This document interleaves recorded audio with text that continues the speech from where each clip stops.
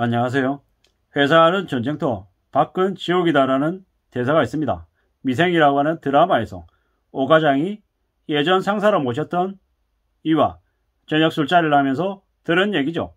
회사 안이 전쟁터라 참 힘들다라고 오 과장이 고충을 들어놓으니 옛 상사가 오 과장에게 해준 춘 거죠. 절대로 그만두지 마라. 밀어내기 전까지는 이라고 얘기하죠. 그 말을 들은 오 과장은 아 바깥 세상에는 더 큰 어려움이 있구나라고 짐작을 하죠. 근데 근데 요즘은 분위기가 많이 바뀌었습니다. 절대로 그만두지 마라 밀어내기 전까지는이 아니라 절대로 그만두지 마라 밀어내더라도로 바뀌었습니다. 밀어내더라도 어떻게든 그만두지 말고 버티고 견뎌야 되는 게 요즘 분위기입니다. 물론 말처럼 쉽지 않다라는 거죠. 직장 생활이 얼마나 녹록지 않은데 그렇게 쉽게 말하느냐라고 이야기하는 분들도 있겠지만 뭐 다들 잘 아시겠지만 제 나이쯤 되니까 그런 힘겹고 어려운 일들을 한두 번씩은 다 겪습니다. 2030들이 생각할 때는 야 참 찌질하게 구질구질하게 직장생활 20년 넘게 했네 라고 이야기하겠지만 이제 겪어봤던 이미 겪고 있는 저 같은 사람들이 생각할 때는 아 녹록지 않구나 그냥 버틴다는 것만으로도 쉽지 않구나라는 생각을 합니다. 정말로 저분은 성성장구에서 임원 이상의 대표이사가 돼도 아깝지 않을 것 같다라는 인재였는데 그런 평판하고 상관없이 여지없이 어느 날 한순간 사라지는 것들을 보게 되죠. 그런 일을 한 번, 두 번 겪고 그리고 저 또한 그와 유사한 일을 경험하다 보니까 아 직장생활이라는 게 정말 만만치 않구나라는 생각을 더하게 됩니다. 한때는 저도 빨리 과장이 되고 빨리 차부장이 되고 이사 상무가 되고 전무가 되고 뭐 부사장이 되고 싶은 마음이 있었죠.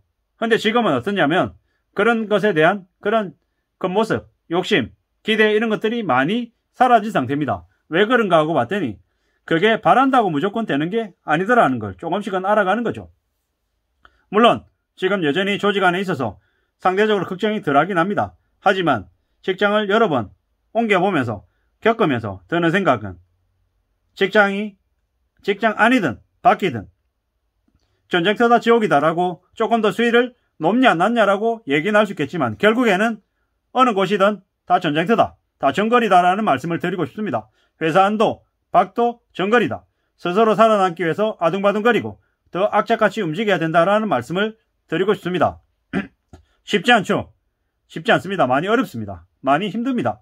시장 생활도 힘들고 바깥에 나가서 지내는 건 더더욱더 힘든 것 같습니다. 함부로 뭔가 남들이 부자가 됐다, 잘 됐다라는 얘기 듣고 나도 그럴 수 있을 거라는 착각은 안 갖는 게 좋습니다. 주식이다, 부동산이다, 뭐 코인이다, 뭐 여러 가지 투자처가 있습니다. 근데 그걸 정말로 잘하는 극소수들은 분명히 돈을 벌겠죠. 근데 대부분의 사람들, 보통 사람들은 그 영역에서 돈을 벌긴 어렵습니다.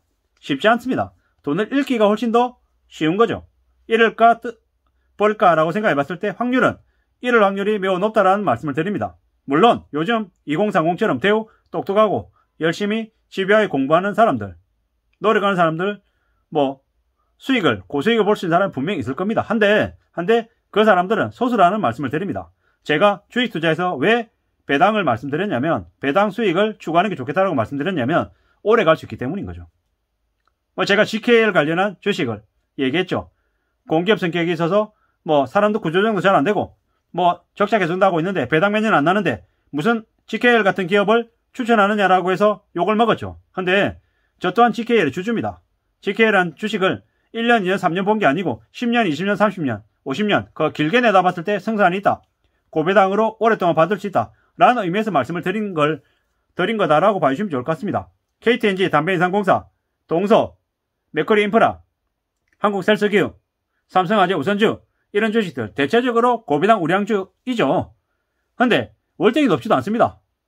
뭐 어쩌면 금융기업들 다른 고배당 뭐 9% 10% 주는 데도 훨씬 더 많거든요. 근데 이제 이 기업들을 말씀드렸던 건 제 성향에 맞고 제가 봤을 때 그래도 용납할 수 있는 기업이다라고 봐서 말씀을 드린 겁니다. 그렇게 봐주시면 좋겠습니다.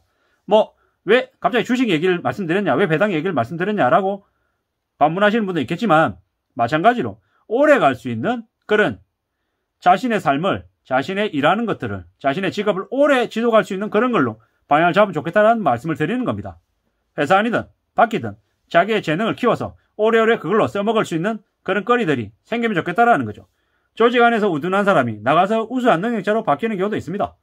조직 안에서 뛰어난 사람이 밖에 나와서 대개 어버버하는 이등병 꼴통이 돼가지고 망하는 경우도 많았습니다.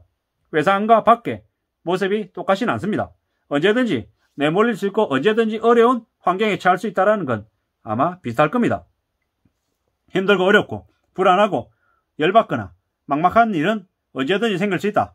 그리고 회사라고 하는 곳 안에서 정글과 같은 곳에서 어떻게든 자신의 능력을 키우는 쪽으로 애써야 되겠다. 그렇게 노력하고 시간 쓰고 정성을 쏟다 보면 분명히 나아지는 때가 올 거다.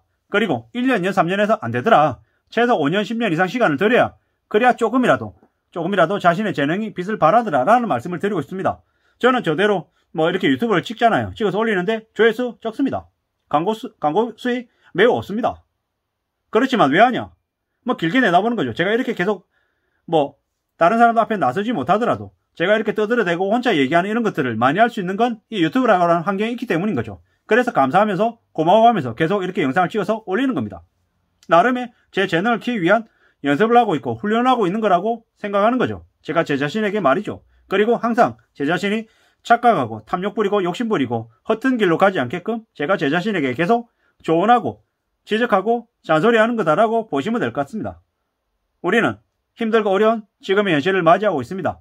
2030은 2030대로, 450은 450대로, 60, 10대는 60대대로 각자 연령에 맞게 처지에 맞게끔 힘들고 어려운 고군분투 싸움을 하고 있습니다. 어느 누구의 싸움이 쉽고 만만하다 좋다라고 얘기 못합니다. 지금의 2030들이 생각할 때는 450 세대들은 취직할 때 되게 쉽게 생각 취직했고 되게 수월하게 살아왔다라고 얘기할 수 있을 거고 또 그 윗세대 베이비 부모 60대 이상의 사람들은 그래도 쉽게 취직하고 일할 기회가 많지 않았냐라고 얘기할 수도 있습니다. 근데 제가 볼 때는 어느 연령대든 쉬웠고 어느 연령대는 힘들다라고 얘기하기 어려운 것 같습니다. 저 때는 대학을 다닐 때 IMF라 주변에서 무수히 많은 동료들이 선배들이 후배들이 친구들이 대학을 중퇴하고 가정이 예체돼서 사라진 이들도 많이 보면서 살아왔죠. 물론 물론 지금의 2030들은 부모들이 그런 경험을 겪어서 또 힘들고 어려운 가정 형편을 겪으면서 살아온 사람도 분명히 있을 겁니다. 지금의 2030은 괜찮고 450은 힘들고 670 세대는 어렵다. 이런 단순하게 세대를 비교하면서 좋다 나쁘다고 판단하는 건 좀 안 좋은 것 같습니다. 그보다는 각자 자기의 처, 자신이 처해 있는 환경, 처지에서 좀 더 열심히 성실하게 살 국리를 하는 게 좋겠습니다. 뭐 이렇게 얘기하면 꼰대 소리 듣죠? 알고 있습니다. 저도 꼰대입니다. 이미 나이가 이미 나이가 꼰대라는 소리를 들을 수밖에 없는 나이라는 거죠. 물론 저는 항상 길을 열고 남들의 얘기를 들으려고 생각하지만 어느샌가 제가 더 말을 많이 하고 있는 모습도 자주 목격합니다. 반성해야죠. 참 생각처럼 잘 안 되는 게 사실입니다. 뭐 그럼에도 불구하고 이렇게 유튜브 영상 속에서나마 제가 제 자신한테 혼내기도 하고 지적질하기도 하고 잔소리하는 겁니다. 조언하는 겁니다. 입 다물라고 입 좀 말을 좀 줄이라고 함부로 얘기하지 말라고 참 잘 안 되지만 고쳐야 되는 거죠.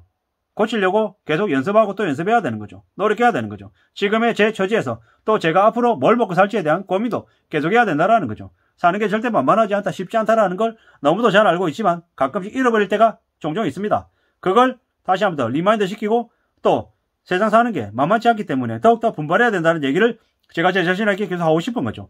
그래야 살아남을 수 있을 것 같습니다. 왜 자꾸 살아남는 얘기만 하고 왜 뻔한 얘기만 하냐 뭐 열심히 해라 그러고 직장에 오래 붙어 있으라 그러고 뭐 영혼을 쏟아가지고 뭐 더 열심히 일하고 재능 키우라 이런 얘기 뻔한 얘기 당연한 얘기밖에 안 하는데 지겹다 찌질이다 그만해라 이런 얘기들도 많이 듣습니다. 근데 제가 계속 말씀드리지만 유튜브 영상을 찍어서 올리는 여러 가지 목적 중에 하나가 제가 제 자신에게 조금이라도 바로 살라고 삐뚤어지지 말라고 제 자신에게 스스로 잔소리하는 면도 있기 때문에 그런 의미에서 얘기하는 거다라고 봐주시면 어떨까라는 생각도 해봅니다. 우리가 살아가는 삶이 절대로 쉽지 않습니다. 회사는 전쟁터, 바깥은 지옥 이런 얘기가 있지만 뭐 절대 그만두지 마라 밀려나기 전까지라고 하지만 밀려나도 그만두지 말라는 얘기는 저는 하고 싶습니다. 제가 제 스스로 제 자신에게 얘기하는 말입니다. 밀어내도 절대 그만두지 말라는 말씀을 드리고 있습니다. 왜? 그래야지만이 살아남을 수 있는 지금 현재 경제 상황은 매우 혹독하고 매우 어려운 것 같다는 말씀을 드리기 때문입니다. 절대로 쉽지 않은 현실을 살아가고 있는 저나 여러분들 모두가 전 세대가 힘들고 이렇게 살고 있다는 걸 너무도 잘 알고 있습니다. 그들에게 조금이라도 희망과 밝은 웃음이 주어지는 그런 날들이 많아졌으면 좋겠습니다. 감사합니다.